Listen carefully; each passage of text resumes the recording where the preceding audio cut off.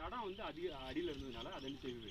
நிறைய இருக்குது அது மட்டும் இல்லாமல் முதுமுக்கல் தாலியில் சில முதுமுக்கல் தாலியில் ஹோல்ஸ் வந்து இருக்கும் எந்த எங்க மாணிக்கம் சாரோட ஒரு வாட்ஸ்அப் செய்தி தான் இன்னைக்கு இந்த சிக சிவகலை அகழ்வாராய்ச்சி வந்து நடக்குதுன்னா அதுக்கு காரணம் சார் வந்து ஆர்கியாலஜி கமிஷனர் உதயச்சந்திரன் சாருக்கு அனுப்பின வாட்ஸ்அப் செய்தி.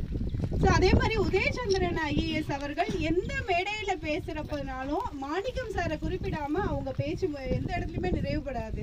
ஏன்னா அவர் வந்து ஒரு ஒரு வரலாற்று ஆசிரியராக இருக்கிறப்போ ஸோ இப்போ உங்க எல்லாருக்குமே தெரிஞ்சிருக்கும் ஓரளவு கவர்மெண்ட் ஸ்கூல் டீச்சரோ இல்லை கவர்மெண்ட் எய்டட் ஸ்கூல் டீச்சரோ ஒரு வேலை வாங்கினோம்னா அவ்வளோதான் அவங்க என்ன ஃபீல் பண்ணால் செட்டில்டு இன் லைஃப் அப்படிங்கிற மாதிரி. பட் இவர் வந்து இன்னும் தோண்டிக்கிட்டே இருக்கிறாரு. ஸோ வந்து ஆர்கியாலஜி ஆஃபீஸர்ஸ் எல்லாருமே சொல்லுவாங்க. அவங்க ஒரு வாட்டி வந்து சாரை பற்றி விசாரிக்கிறதுக்காண்டி அவங்க வீட்டுக்கு போனப்போ அவர் ஏதாவது இந்த மாதிரி காட்டு இங்கே தெரிஞ்சுக்கிட்டு இருப்பாங்க அப்படின்னு சொன்னாங்களாம். அதே மாதிரி தான் சார் இன்னமும் அப்போ இல்லை ஆரம்பித்த மட்டும் இல்லை இன்னும் வந்து நிறைய விஷயங்கள் தோண்டி எடுத்துக்கிட்டே இருக்காங்க. உண்மையிலே வந்து எங்களுக்கெல்லாம் டிபார்ட்மெண்ட்டில் இருக்க எங்களுக்கெல்லாம் வந்து சார் ரொம்ப சப்போர்ட் பண்ணாங்க. சிவகலை அகழ்வாராய்ச்சி நடக்கிறப்போ அந்த தொல்லியல் துறைக்கு முழுக்க முழுக்க வந்து சார் தான் சப்போர்ட் பண்ணாங்க. ஸோ அதுக்காண்டி தொல்லியல் துறை சார்பாகவும் அருங்காட்சியகத்துறை சார்பாகவும் உங்களுக்கு மிகப்பெரிய நன்றியினை தெரிவித்துக் கொள்கிறோம் சார் இன்னைக்கு நம்ம மரபு நடைய சிறப்பாக நடத்தி கொண்டுட்டு இருக்க இவங்க வந்து ஜேசிஐயில் ட்ரெண்ட் செட்டரில் பிரசிடெண்ட்டாக இருக்காங்க. அவர் பரணி வரலாற்று மையம் உங்கள் தம்பி. அவர் அனைவரையும் சிவகலை தொல்லியல் கிராமம் அன்புடன் வரவேற்கிறது. முதலில் இந்த ஒரு மிகப்பெரிய ஒரு விஷயத்துக்கு வந்து ஏற்பாடு செய்து கொடுத்த காப்பாச்சர் அம்மா சத்யவல்லி அம்மா அவர்களுக்கும் மேடம் சுப்புலட்சுமி மேடம் அவர்களுக்கும் இந்த சிவகலை வந்து இந்த அளவுக்கு போவதாக இருந்தால் இவர் வந்து என்னோட தன்பின்னே சொல்லுவேன். பரணி டிவி வந்து எப்படின்னா அதை வந்து நல்லா ஷூட் பண்ணி ட்ரோன் மூலமாக ஷூட் பண்ணி எங்கெல்லாம் போய் ரீச் ஆகணுமோ அந்த அளவுக்கு ரீச் ஆகினாங்க. இன்றைக்கி விக்கிபீடியாவில் வந்து நீங்கள் சிவகலைன்னு பண்ணி பார்த்துட்டிங்கன்னா அதில் ரெஃபரன்ஸ் எந்த ஒரு கான்செப்டாக இருந்தாலுமே கீழே ரெஃபரன்ஸ் போடும்போது இவங்க இவங்களுடைய வீடியோ தான் ஃபுல் அண்ட் ஆகும் அதனால் இங்கே வந்திருக்கும் அனைவருக்கும் குறிப்பாக மாணவர்கள் பெண்கள் ஆண்கள் எல்லாருக்கும் முதலில் எனது வணக்கத்தை தெரிவித்துக் கொள்கிறேன். இப்போ வந்து இந்த அகலராட்சி நடக்கக்கூடிய இந்த சை இந்த சைட்டில் வந்து மேடம் எல்லாரும் ஏற்கனவே சொல்லிட்டாங்க. என்னையை பற்றி விஷயத்த சொல்கிறத விட இந்த சைட்டோட இம்பார்ட்டன்ஸ் வந்து சொல்கிறேன் இந்த சைட்டில் வந்து முதல் கட்டமாக அகலாய்வு வந்து நடந்து முடிந்துட்டு ஆனால் இரண்டாம் கட்டமான அகலாய்வுக்குள்ள வேலைகள் நடந்துட்டு இருக்கு. இப்போ அந்த சைட்டை தான் நம்ம அடுத்தால பார்க்க போகிறோம் இரண்டாவது கட்டமாக எங்கே நடக்க போகுது அப்படின்னு பார்க்க போகிறோம் இப்போ வந்து நீங்கள் வரக்கூடிய டைமில் எல்லா பொருளுமே எடுத்த பொருள்கள் அனைத்துமே சிவகலையில் என்னுடைய சொந்த இடத்துலையே ஒரு பன்னிரெண்டு செண்டு இடத்துல வந்து ட்ரெண்டு போட்டு அவங்க முதுமுக்கள் தாலியெல்லாம் வச்சுருக்காங்க. மீதி இந்த மாதிரி பொருட்கள் ஃபுல்லாக ஒரு பெட்டியில் போட்டி என்ன வச்சுருக்காங்கன்னா சமுதாய கூடத்தில் வச்சுருக்காங்க. இது வந்து என்னென்னா நான் செய்த என்ன சொல்லணும்னா கலா ஆய்வுன்னு சொல்லுவாங்க. கலா ஆய்வுனா field trip as school teacher நான் வந்து ஃபீல்டு ட்ரிப் பண்ணி இந்த ஃபீல்டு ட்ரிப்பில் என்னுடைய சொந்த ஊர் இதுதான். சொந்த க கிராமத்தில் இப்படி இருக்குங்கிற ஒரு விஷயத்த பார்த்த உடனே எனக்குமே ஃபர்ஸ்ட் எக்ஸைட்டிங்காக தான் இருந்தது. ஏன்னா இந்த ஏரியாவுக்குள்ளே போகும்போது எனக்கு இந்த இடத்த பார்க்கும்போது சினிமாவில் ஆயிரத்தில் ஒருவன் ஒரு படம் உண்டு. கார்த்திக் நடித்த படத்தில் வந்து என்ன செஞ்சுருப்பாங்கன்னா இந்த இடத்த நீங்கள் பஸ்ஸில் வரும்போது சைட்டில் பார்த்தீங்கன்னா அந்த சைடு பார்த்தாச்சுன்னா குளங்கள் கொஞ்சம் இயற்கை காட்சிகள் நல்லா இருக்கும். இந்த சைடு பார்த்தா ஏதோ ட்ராஜடி நடந்து ஏதோ ஒன்று சோகமான பகுதி மாதிரி இருக்குது அப்படி என்ன இருக்குது அப்படின்னு சொல்லி ஒரு நாள் வர்ற டைமில் தான் இந்த விஷயத்தை கண்டுபிடிச்சோம். கண்டுபிடிச்ச உடனே தொழில்துறைக்கு கொடுத்த உடனே அவங்க என்ன செஞ்சாங்கன்னா ஃபஸ்ட்டு எனது ஒரு சில நண்பர்கள்ட்ட சொல்லும்போது அவங்க வந்து இதெல்லாம் நீ வந்து you are your giving fake report you அப்படி சொன்னது. அவங்க என்ன இந்த சைட்டுக்கு வந்து பார்க்கல. நான் அதெல்லாம் நம்ப மாட்டேன் அப்படின்னாங்க. அப்போ நம்புறவங்க நம்புறவங்க நம்பட்டும்னு சொல்லி என்னன்னா ஆதாரம் இல்லாவிட்டால் வரலாறு இல்லை. அப்போ ஆதாரம் இல்லாட்ட வரலாறு வரலாறு இல்லை அப்படிங்கிறதுனால அந்த ஆதாரத்தை கூட கலெக்ட் பண்ணி எங்கள் ஸ்கூலில் வச்சுருந்த ஒரு இது எல்லா பொருளையும் எடுக்கும்போது என்னுடைய ஸ்கூல் வந்து நல்லா சப்போர்ட் பண்ணாங்க. சப்போர்ட் பண்ணும்போது இந்த பொருளெல்லாம் எடுத்து எங்கள் ஸ்கூலில் வைக்கிறதுல ஒரு டுவெண்ட்டி ஃபைவ் ஏன்னா நீங்கள் இன்றைக்கி வந்திருக்கீங்க. என்ன தான் நான் சைட்டில் வந்து காட்டினா முஞ்சி போனால் என்ன இருக்கணும் முதுமுக்கள் தாலி முதுமுக்கள் தாலி முதுமுக்கள் தாலி தான் இருக்கும்.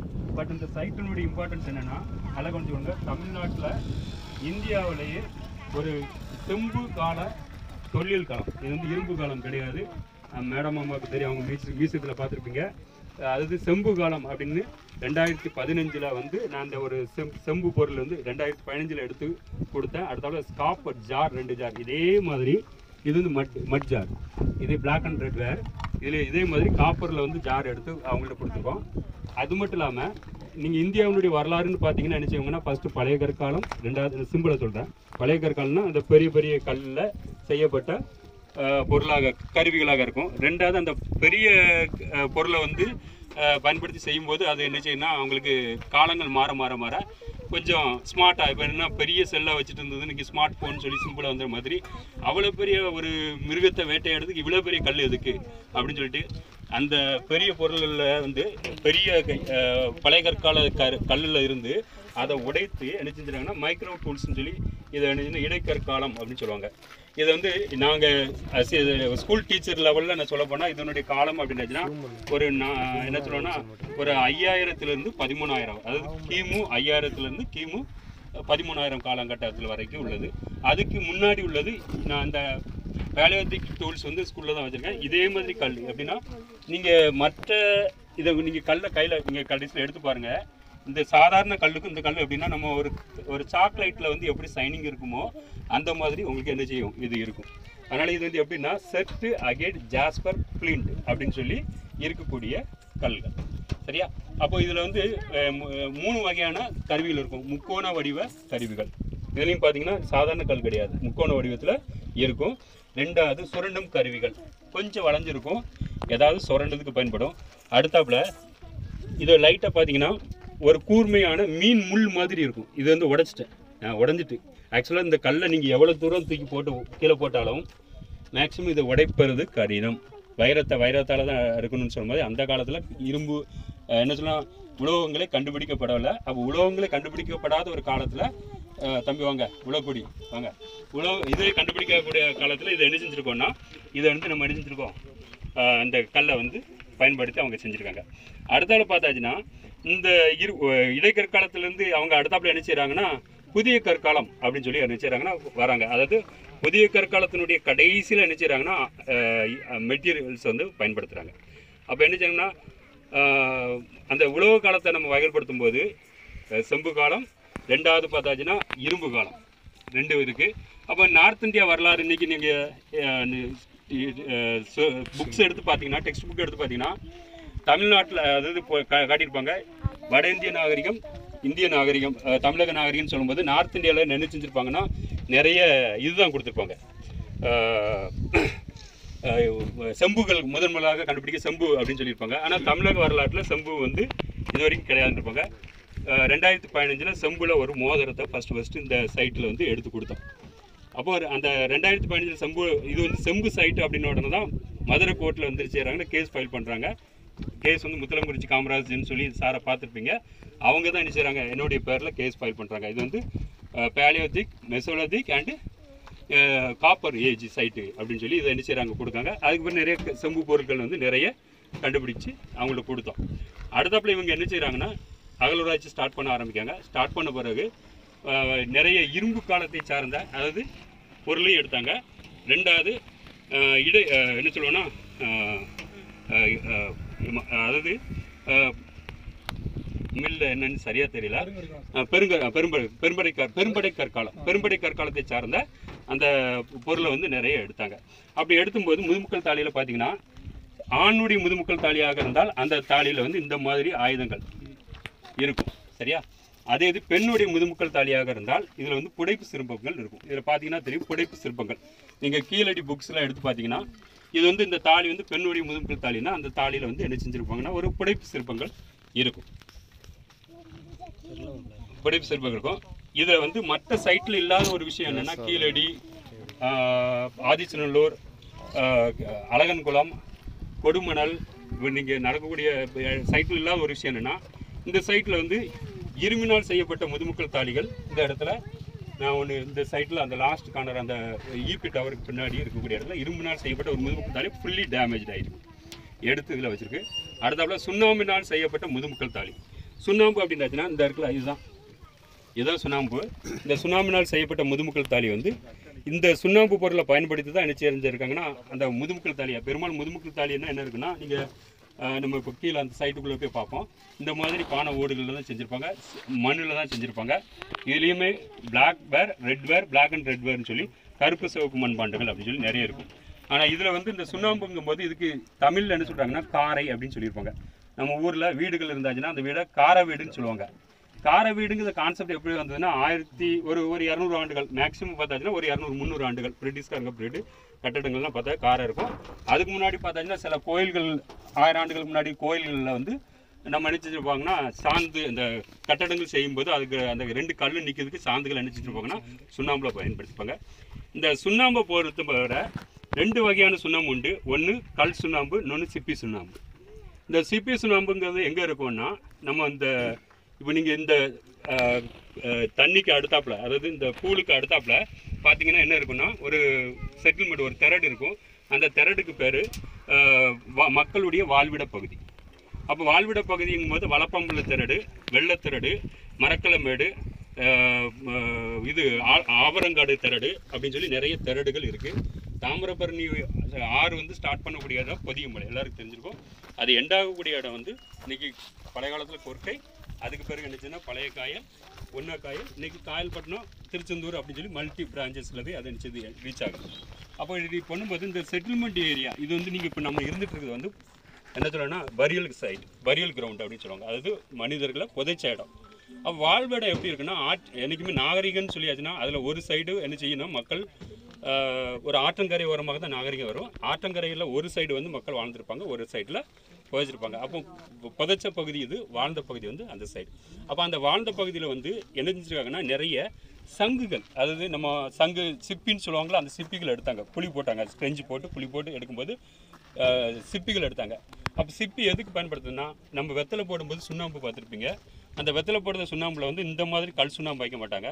எப்படிப்பட்ட சுண்ணாம்பு வச்சுருப்பாங்கன்னா சிப்பி சுண்ணாம்பு தான் வச்சுருப்பாங்க. அப்போ சிப்பிகள் அதிகமாக இருந்ததுனால இருக்குது அப்போ இவன் என்ன செய்கிறான்னா நம்ம சுண்ணாம்பு வந்து கட்டடத்துக்கு மட்டும் பயன்படுத்தலை அவன் மண் பாண்டுகள் பயன்படுத்துகிற மாதிரி பொருட்கள் தயாரிக்கிறதுக்கும் அந்த இதை பயன்படுத்துனாங்க மற்றபடி இதில் இருக்கக்கூடிய விஷயங்கள் இருக்குது இதை பார்த்துக்கோங்க. இந்த சிவகலை சைட்டினுடைய முக்கியத்துவம்னு சொல்லியாச்சுன்னா நான் சொல்லியிருக்கேன் ஏற்கனவே இது செம்பு கால ஒரு சைட்டு. ரெண்டாவது இரும்பு காலத்தையும் இருக்குது பழைய கால கருவிகளும் எடுத்திருக்கோம் இடைக்கால கருவிகளும் எடுத்திருக்கோம்.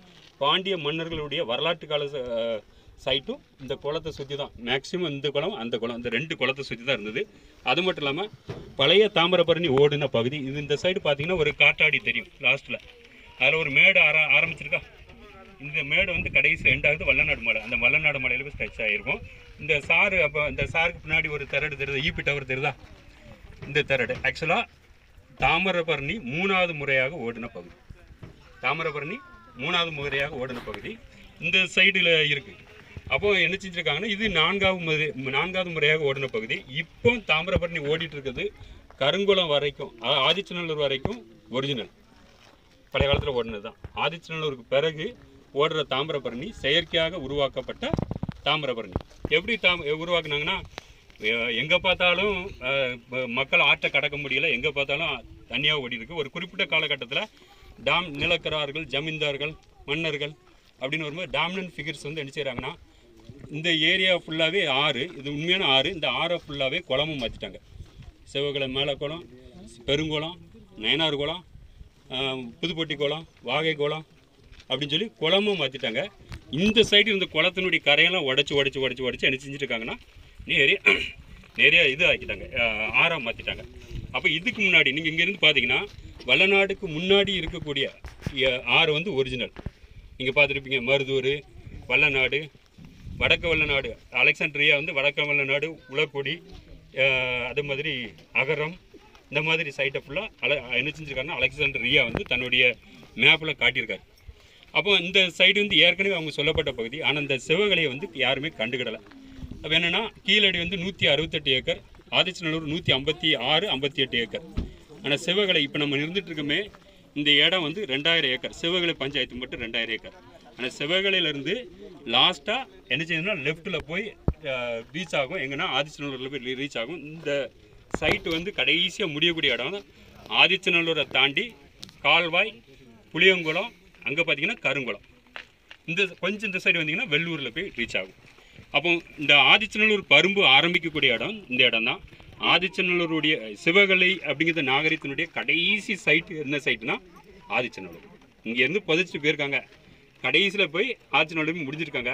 அப்போ ஏன் புதைச்ச பகுதியை வந்து அவங்க எடுக்க தோண்டி எடுக்கலைன்னா அவங்களுக்கு ரெண்டு பாயிண்ட் இருக்கும். முதுமக்கள் தலையில் வச்சு அடைக்கிறதுக்கு காரணம் மறு பிறவியின் மீது அவங்களுக்கு நம்பிக்கை இருந்தது. அது மட்டும் இல்லாமல் உயிரோடையும் முதுமக்கள் தலையில் வச்சாங்க. ஏன்னா வயசாயிருக்கும். இரநூத்தம்பது ஆண்டுகள் வரைக்கும் வாழ்ந்த ஆட்கள் இருக்காங்க. முந்நூறு வய வருஷம் வரைக்கும் கூட இருந்திருக்காங்க. அவங்களுடைய ஆட்களுடைய வருஷங்கள் போக போக போக அவங்களுடைய உடம்புல முடிகள்லாம் உதிர்ந்து என்ன செஞ்சுருக்குன்னா இது வந்திருக்கும். முள்ளுன்னு சொல்லுவாங்க. நம்ம இப்போ கையிலே கையில் சில ஆளுக்கு பார்த்தீங்கன்னா முட்டில் முள்ளு முள்ளாக இருக்கும். அப்போ முடி உதிர்ந்து முள் வளர ஆரம்பிச்சிட்டனாலே அந்த ஆளுக்கு வந்து வயசாயிட்டுன்னு சொல்லி அவங்க நினச்சி வரணும் பராமரிக்க முடியாது.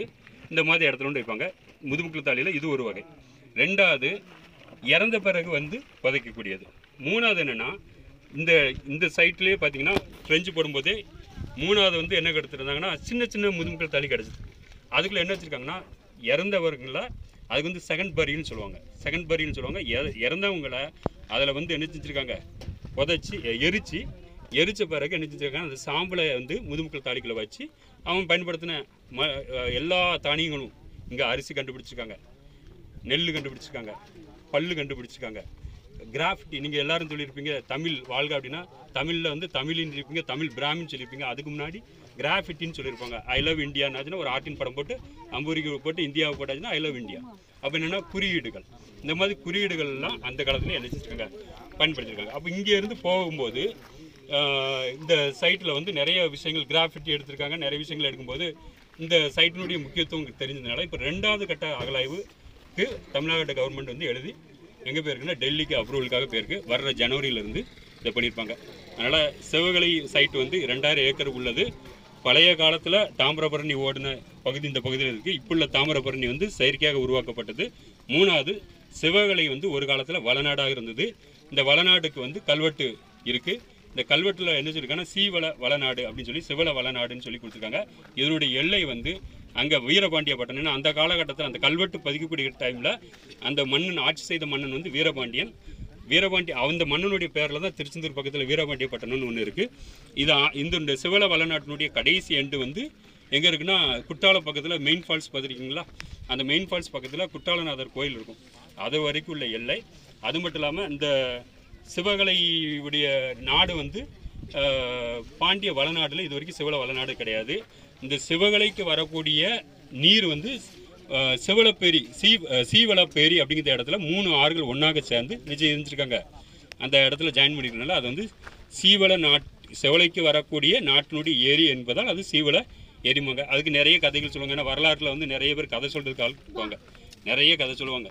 அதனால் அந்த கதைகள்லாம் நம்ம என்ன இந்த கல்வெட்டு என்ன சொல்லுதுன்னா சிவலவள நாட்டுக்கு வரக்கூடிய ஒரு இது. அதனால் இந்த சிவலவள்ள நாடுங்கிறது வந்து இந்த நாடு தான் இது பின்னாடி எப்படி எழுதி எழுதியிருக்காங்கன்னா பெருங்குளத்தை வச்சு திருவழி திருவழுதி வளநாடு அப்படின்னு சொல்லி தமிழில் பார்த்தீங்கன்னா திருவழுதி வளநாடுன்னு சொல்லி பெருங்குளத்தில் இருக்கக்கூடிய திருவழுதீஸ்வரரை வச்சு எழுதியிருப்பாங்க. சரி நிறைய நேரம் சொல்லிட்டேன். அதனால் இப்போ இதுக்கு பிறகு உள்ளுக்குள்ளே அந்த கிரவுண்ட்ஸில் எல்லாம் இருக்குங்கிறத பார்த்துக்கிட்டோம் அது மட்டும் இல்லாமல் இந்த இந்த இதில் லாஸ்ட்டாக பார்த்தீங்கன்னா உங்களுக்கு கப் மார்க்ஸ் இருக்கும். இந்த லாஸ்ட்டில் வந்து உங்களுக்கு கப் மார்க்ஸ் இருக்கும். இந்த கப் மார்க்ஸ்னால் பாறை கிண்ணங்கள் அந்த மாதிரி இருக்கும். அடுத்தாப்புல பக்கத்தில் இதனுடைய லாஸ்ட் எண்டில் அயன் அண்ட் ஸ்டீல் அதாவது இரும்பு எஃகு தொழிற்சாலை தயாரித்த இடம் வந்து இப்போ தண்ணிக்குள்ளே போக முடியாது. இதில் வந்து இரும்பு தய தயாரிக்கக்கூடிய இடங்கள் இருக்குது இதில் வந்து என்னென்னா இந்த சைட்டை ஃபுல்லாக காட்டும் போது என்னென்னா ஆர்வ கோளரில் என்ன செஞ்சுப்பாங்கன்னா மாணவர்களை வந்து என்ன செஞ்சுருப்பாங்க எடுத்து உடச்சி செதறி போட்டுருவாங்க. அதனுடைய முக்கியத்துவம் தெரியாது. அதனால் என்ன செஞ்சுருப்போன்னா நிறைய பேருக்கு சொல்லும்போது ரொம்ப கேர்ஃபுல்லாக பண்ணணும் அப்படின்ட்டு. இப்போ எ- உங்களுக்கு எல்லா இடத்தையும் காட்டுதேன் ஆனால் என்ன செஞ்சிடக்கூடாதுன்னா வந்து அதை திரும்ப இடத்துல காட்டி அதை டேமேஜ் பண்ணிடக்கூடாது.